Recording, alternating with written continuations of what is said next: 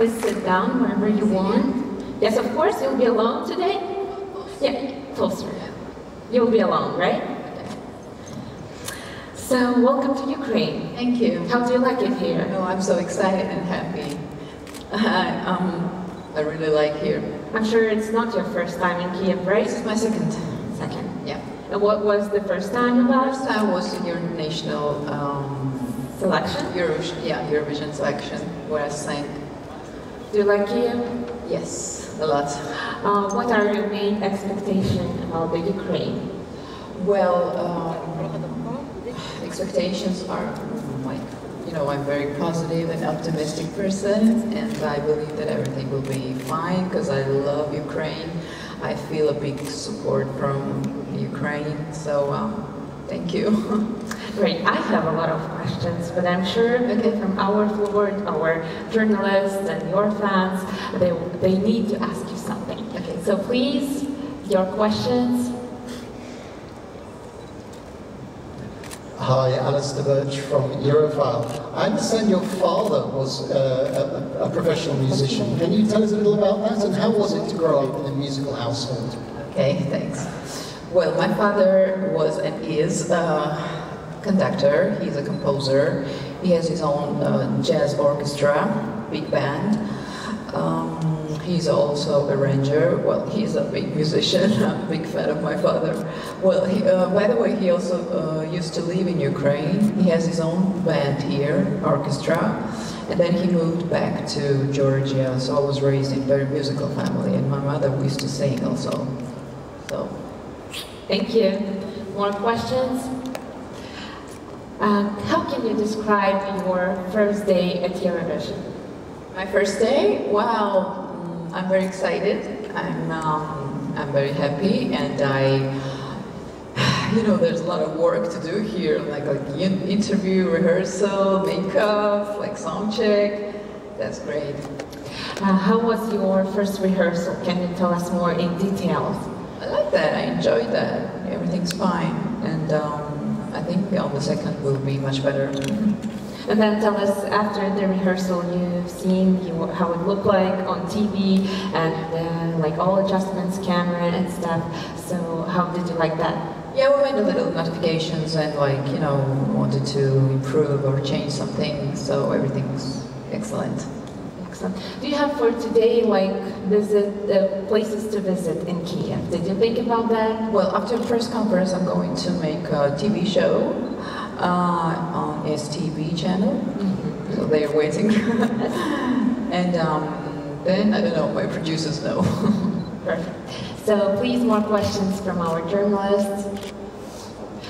For now, we have a lot of questions from your fans. So um, how do you, can you tell us, please, who inspires you the most in, in the whole line? Michael Jackson definitely is Why? Um, my favorite artist of all time. Why?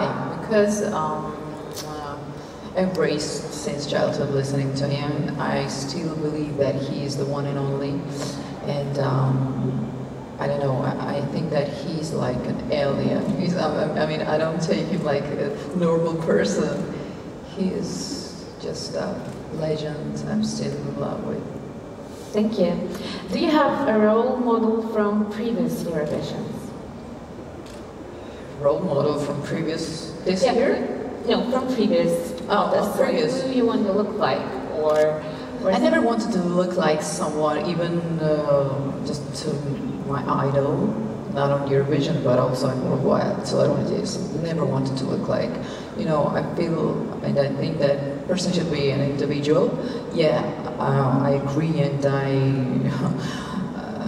I can honestly say that I'm inspired by a lot of many international artists. Maybe some of them are, well, Celine Dion was um, Eurovision contestant and uh, I love her, she's an amazing singer.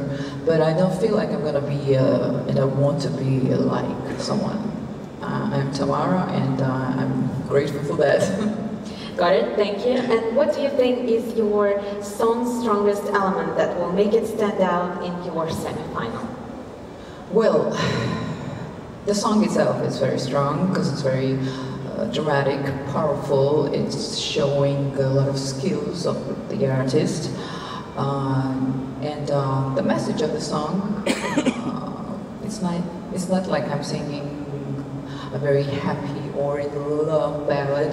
This is a song with a great message that um, there are many tough moments in our lives. You know, there's no person without any problem, and um, no matter what race or what religion or what um, orientation or anything you are, it doesn't matter at all because we're all people, persons, and no matter how tough can life be, you just have to keep the faith. Because um, on the second verse, I think about a little bit about myself, that it it's not, not like, you know, a fairy tale, my life. it is not like that, but I always keep the faith and you should do that as well.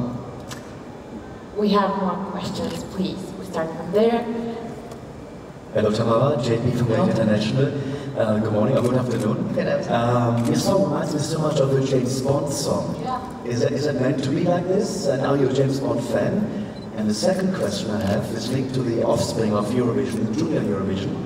Uh, Georgia won it three times, and did you have the chance to meet any of the previous junior contestants that won for Georgia? And did they give you advice? Thank you. Well, what about James Bond? Well, uh, yeah, Inspiration is um, one of the James Bond songs, but I will not tell you. and uh, I'm very glad that some people mentioned this, because it is right.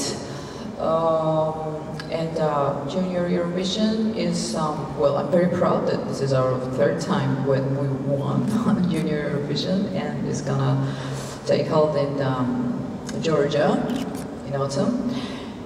And uh, yes, I've met with them, and they're very, very, very talented, very talented children. I'm proud of them. Thank you. Thank you. Please, next question. Hi, uh, congratulations for your relations this morning. Uh, I'm Farouk Vanet from Cocorico Vision magazine in France. Um, the images of the screen have changed between the national selection and the actual Eurovision Song Contest. Why did you do this choice? Because you have big, strong images behind you on the selection and actually not yet. Thank you.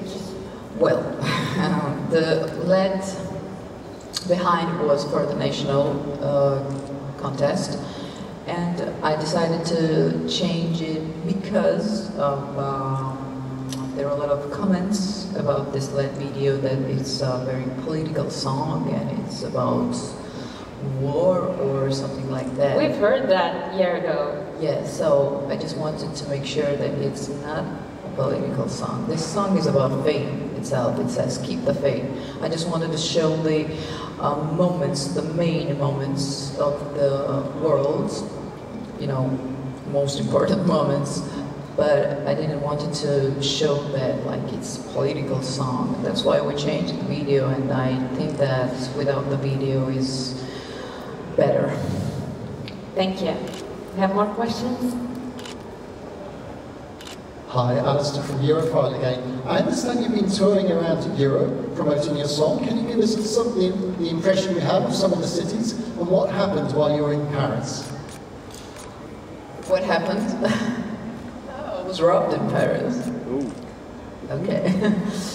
um, the tour was great because um, I made a lot of people. This was a big experience and I'm very grateful for that. Um, but in Paris, yeah, that's a sad situation that happened in Printemps. I was in Saint Laurent store when I was just changing the jacket that I liked I wanted to buy, and after two minutes, just I turned around and my wallet was not there. So then I went to the police, and you know, that was a long day and very hard day. But everything's fine. But still, I keep the faith. no wallet, no jacket. Thank you. Yes, we have more questions.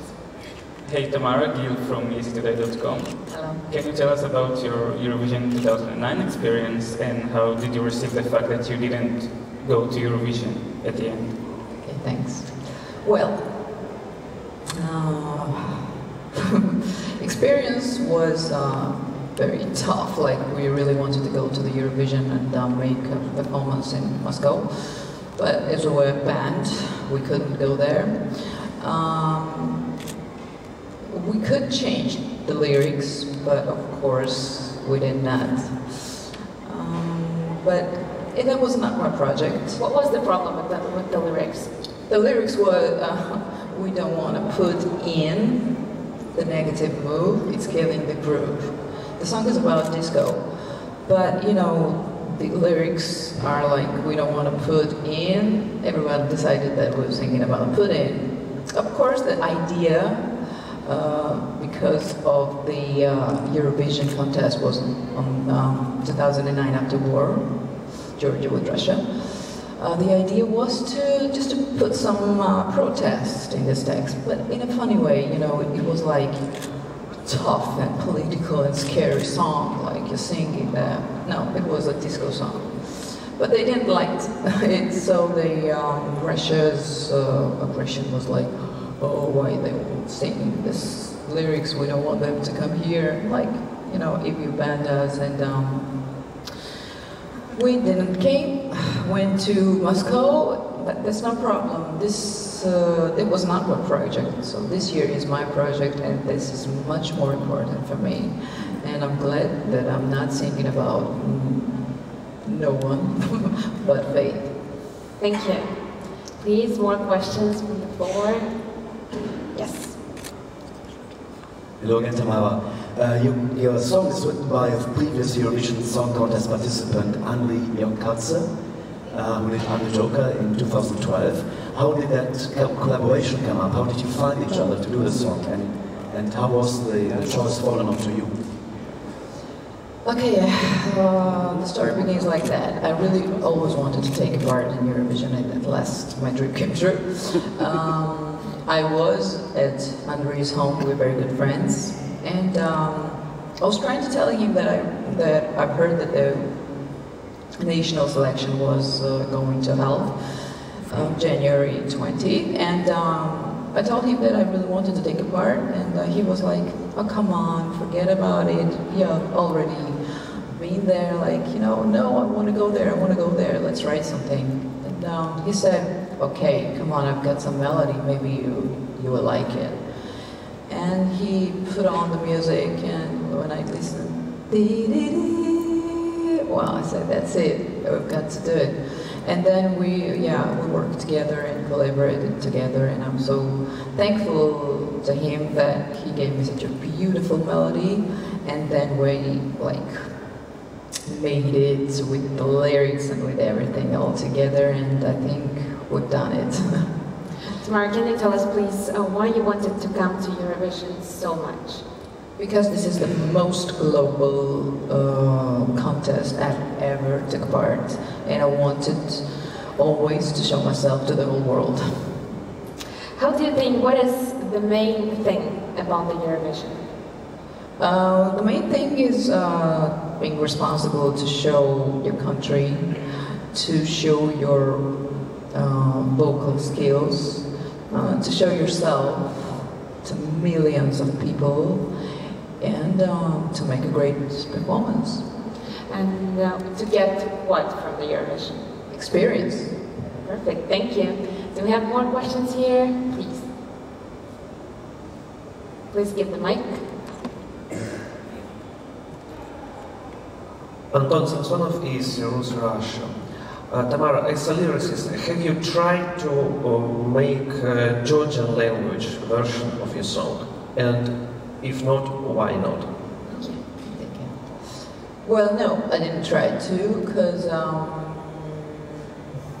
because um, I think that the uh, English language is like one of the most international languages that's more suitable for the melody to sing uh, Georgian language is really very beautiful, but um, I was not sure I was gonna make a hit with the Georgian language song, so I chose English, and I think I made a good choice.